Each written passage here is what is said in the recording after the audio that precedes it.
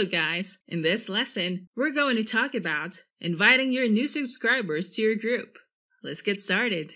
Facebook groups can help your business in converting potential leads to customers you can interact on your Facebook group as your personal profile or as your Facebook page. If you interact as your Facebook profile to invite people on your Facebook group, you'll be able to view a list of your Facebook friends that are suggested by Facebook and send invites to the people that you have selected. If you interact as your Facebook page, You'll be able to add people who follow and like your Facebook page. When you have a Facebook page, you can take a look at the list of people who like your page then decide who among those people on the list are suited to become part of your group. Look for the right people to be part of your Facebook group. Your goal is to invite people to become members of your group as they have something to contribute to your group. It will be best to invite potential group members who will visit your group and engage with the other members as well. Facebook will reward your group and suggest it to more people on Facebook.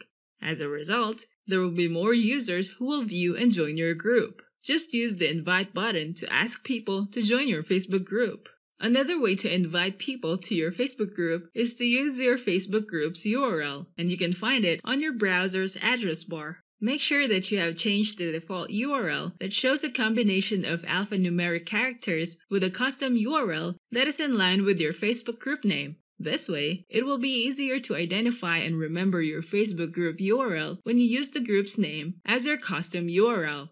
You can use this URL to invite people from different social media platforms that you have for your business. You can also use the URL and share it with your email list. Inform them that your business has a Facebook group and that it would benefit them to join the group since they can easily interact and communicate with your brand inside the group. Also, they can engage with like-minded people and develop a sense of belonging as they become part of your brand's Facebook group. Facebook groups can help your business to gain more engagement with your potential customers, since Facebook groups creates a good environment for your group members to discuss topics with like-minded people. As they share relevant content, the other group members will be influenced to purchase the products or services that your brand offers. Your group can easily grow when you invite people who are already following your business page and also people who are in your email list. If you have a Facebook page, your fans are already interested in your business niche. Take note of your followers who have the potential to help your group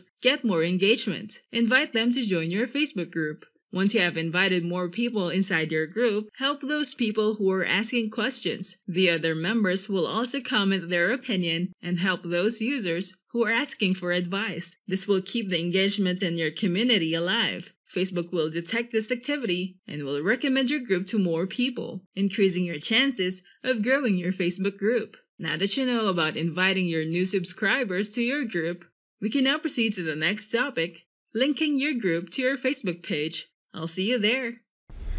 Thanks for watching. Don't forget to like and subscribe and go to teknikforce.com for more tools and training.